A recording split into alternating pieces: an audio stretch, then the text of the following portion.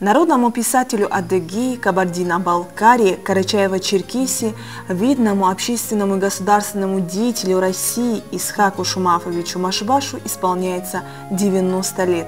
Родился Исхак Шумафович 28 мая 1930 года в ауле Урубске Краснодарского края. Учился в Адыгейском педагогическом колледже имени Хусена Андрухаева – Позднее получил образование в литературном институте имени Горького. Затем окончил отделение работников печати, телевидения и радиовещания Высшей партийной школы при ЦК КПСС. Трудовую деятельность Машбаш начал в 1956 году после окончания института в должности заведующего отделом областной газеты «Социалистической Адыгеи». С 1959 года являлся руководителем лекторской группы Адыгского обкома КПСС. В 1962 году стал председателем Союза писателей Адыгеи.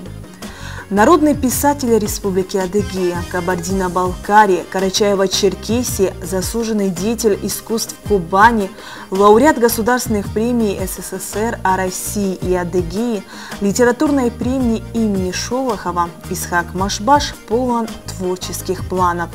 Он известен как общественный деятель не только в Адыгее, но и на всем Северном Кавказе и в России в целом. Его талант и феноменальное трудолюбие по достоинству оценены на самом высоком уровне. Но несмотря на всю весомость регалий и общественного признания, он остается человеком простым и открытым. Исхак Машбаш – автор около 900 книг прозы и поэзии. Его романы «Жирнова», «Раскаты далекого грома», «Хангири» из тьму веков адыги, в которых автор повествует об истории адыгского народа и народа в России, известны широкому читателю в нашей стране и за рубежом. Он автор более 30 поэтических сборников, в том числе «Щедрое солнце полудня», «Светлое имя твое», «Мосты», «Мир дому твоему» и другие. Его известные песни «Адыги», «Даха Сидунай», «Синасыпар» Это отдельная страница нашей национальной культуры. Указом президента Российской Федерации 26 апреля 2019 года Исхак Шумафович Машбаш удостоен звания Героя труда России за особые трудовые заслуги перед государством и народом. Дай мне радости, жизнь, и не надо ничего, кроме этой награды. Это радуга в небе над садом и улыбка живущего рядом.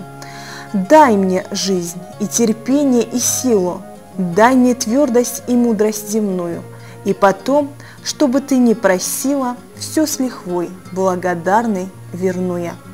Жизнь услышала эту страстную просьбу и дала радость, а Исхак Шумафович, благодарный, все вернул с лихвой.